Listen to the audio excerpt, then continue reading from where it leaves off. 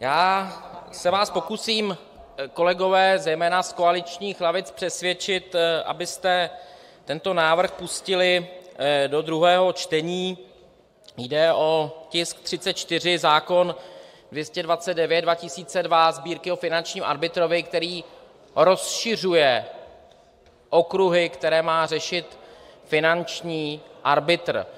Ty okruhy já za chvilku řeknu a vy zjistíte, že to má nemilosrdnou logiku, ale připomenu zároveň, že my jsme tady už dvakrát za poslední měsíc rozšířili okruhy věcí, které má řešit finanční arbitr, a bylo to úplně bez problémů. Jedno je ten panevropský fond a druhé bylo to včerejší hlasování o té problematice DCC, ta dynamická směna měny.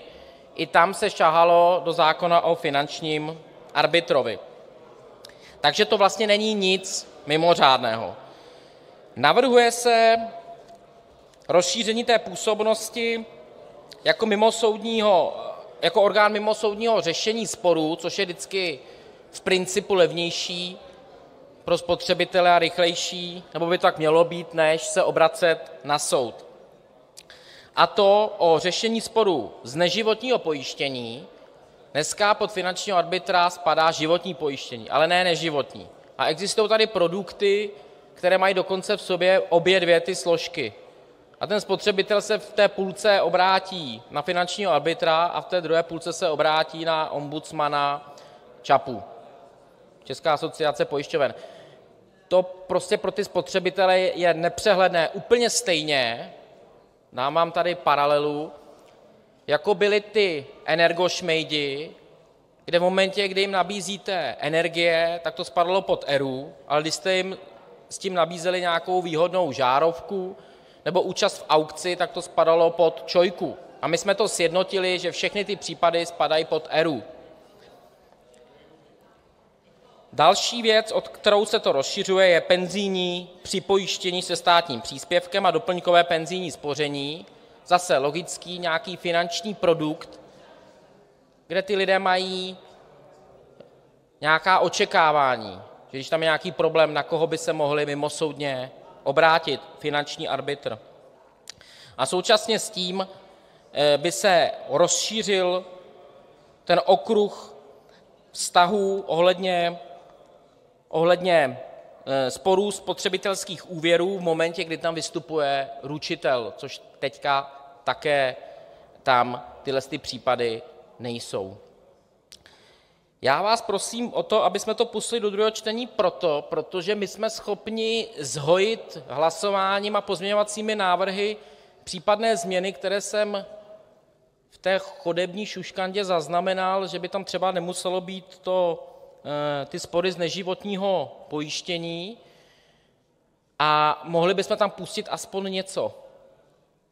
Ale já vás přesvědčím, nebo se o to pokusím, já jsem o tom přesvědčen, že skutečně to smysl má, že prostě my musíme ty věci, tak jako to děláme u Energetického regulačního úřadu, u Českého telekomunikačního úřadu, tak i u toho finančního arbitra, aby ty věci které spadají pod finanční produkty, tak aby ti spotřebitelé věděli, na koho se mají obracet, a měli tu alternativu nezávislého mimosoudního orgánu. To znamená, že i přesto, že třeba nesouhlasíte s tím rozšířením a chtěli byste tam dát pozměňovací návrh, tak se to dá prostě ve druhém čtení nahlásit, dá se to zúžit, ale myslím si, že rozšíření o jednu z těch tří položek, které jsem tady já, o které jsem vás tady informoval, takže smysl, že smysl za mě má v rámci rozšíření a zvýšení ochrany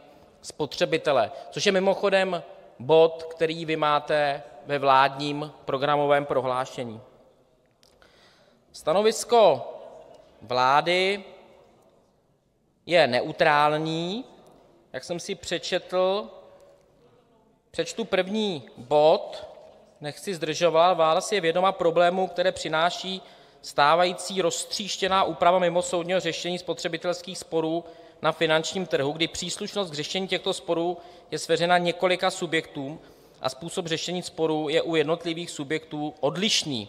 Zvlášť markantně se tato roztříštěnost projevuje zejména u sporů z pojištění, kdy k jejich řešení jsou v případě, že v rámci jedné pojistné smlouvy je sjednáno životní i neživotní pojištění, příslušné dva různé orgány, to je to, co já jsem tady sděloval. Tento stav rozhodně nepřispívá k jednoznačnému pochopení spotřebitelem, jak má při řešení svých sporů s poskytovateli služeb na finančním trhu postupovat, jakož ani k právní jistotě v této oblasti ochrany spotřebitele. Navržené řešení stávajícího stavu považuje vláda za systémové a pro danou oblast všeobecně prospěšné.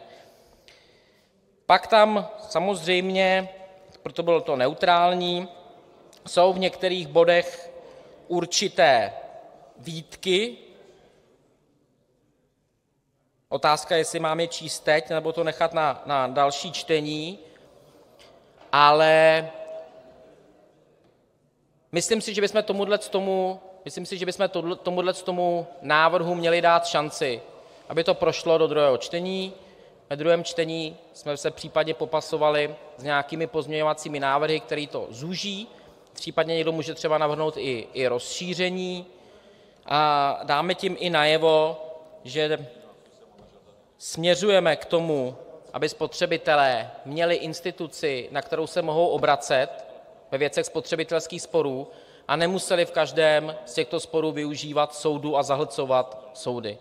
Jenom na tomto místě připomenu, protože se jedná o produkty, které jsou, řekněme, automatizované nebo podobné, že nám stále chybí věc, která by třeba to pomohla řešit i jiným způsobem, a to je institut hromadných žalob, to znamená hromadná řízení, která stejně tady budeme muset dřív nebo později přijmout.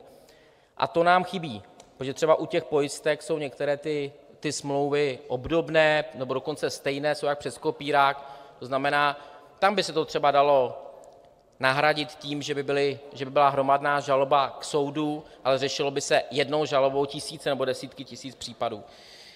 Tolik stručně na úvod a já děkuji za případnou podporu z vládních lavic. Děkuji.